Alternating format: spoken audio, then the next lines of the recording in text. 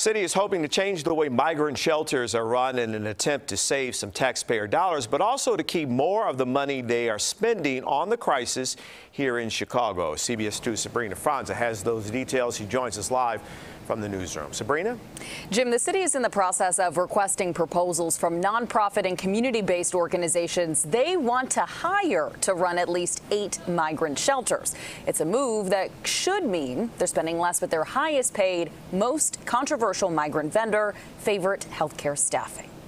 A lot of the shelters were being operated by the same operators. That's changing. The city just released a request for proposals, an RFP. Those contracts will go at least through the end of the year with an opportunity to extend if needed. Of the city's 18 shelters in operation, we're told two of those are already run by community based organizations.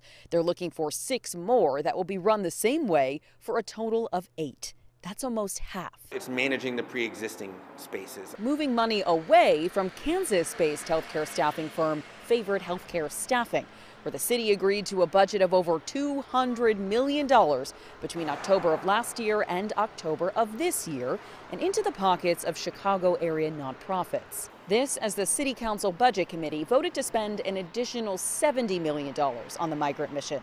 The state and county had already committed an additional 250 million combined funds to supply enough beds and supplies through the end of the year. The state is taking more than a majority of the cost. An additional promise from the state. The city says Governor J.B. Pritzker committed to over 2,000 new beds to be placed somewhere on the city's south side.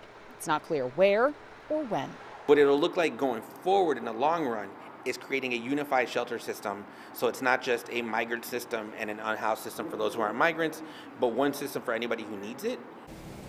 We, of course, reached out to the mayor's office about all of this, asking for any details about this new RFP process. They told us they're looking into those details and will get back to us. As soon as they do, we'll update the article attached to this story on our website. In the newsroom, Sabrina Franza, CBS 2 News. Thank you, Sabrina.